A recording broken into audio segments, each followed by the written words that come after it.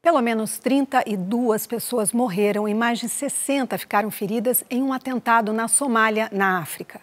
O ataque foi cometido por um homem-bomba em uma praia próxima a um hotel movimentado da capital do país.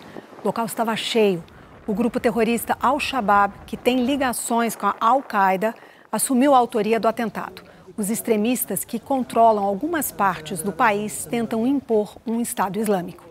Pelo quarto ano consecutivo, o SBT News é a marca mais confiável de jornalismo no Brasil, de acordo com o Instituto Reuters. 62% dos brasileiros consideram o SBT News e o SBT Brasil a fonte mais segura de informação.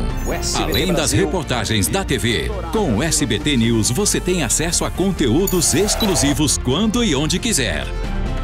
SBT News. Notícias que você pode confiar.